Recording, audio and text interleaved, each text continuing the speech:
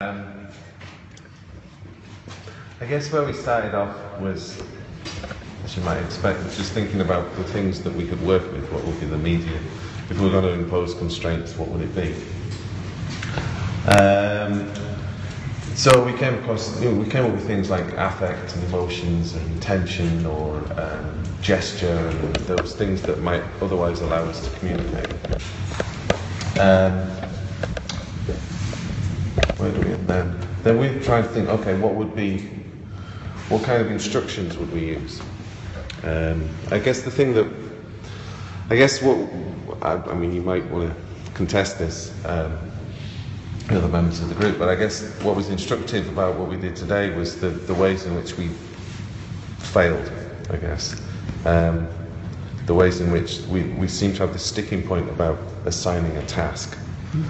Um, what was it that we would get our organism or entity to do? Um, and we never really seemed to to pin that down. Um, in the end, however, um, we started to settle around um, very kind of basic instructions and how they might be graphically represented. Um, so we came up with this. Which was a means for, well, we were using these cards as he did next door, and um, really as a means to, to put together different sets of instructions that we would then somehow use in order to come up with this drawing. Um, that drawing was then going to be, and we didn't get this far, um, or we only just got this far, um, the basis, a kind of notation I guess, for a, series of actions that we might then perform.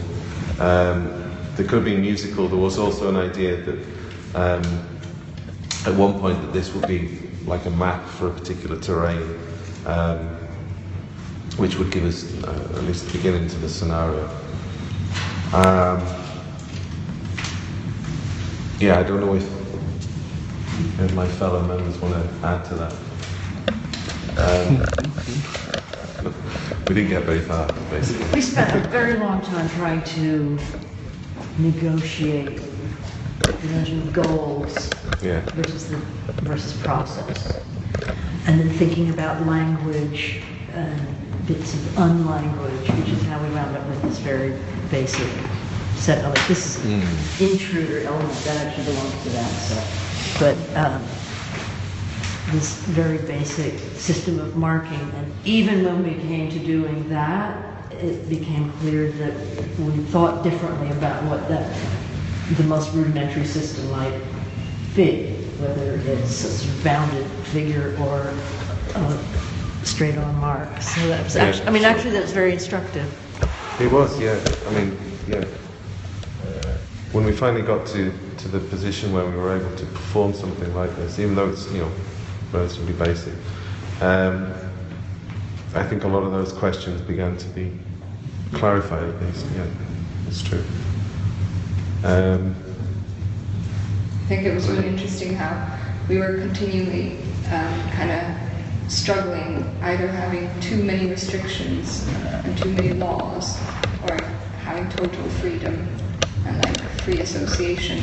And I think trying to kind of balance that out and create an organism where there's, I don't know, there's a balanced system of, of laws and freedom is what made the whole task really difficult and challenging and exciting. And also just, I remember like talking about whether we're trying to create an organism that, that um, creates a new space within a space or tries to escape the space which it's in and like that, how that defines the whole kind of nature of it. Mm-hmm. Um, was interesting parts too. Great. That's all process, right? Mm-hmm. Yeah.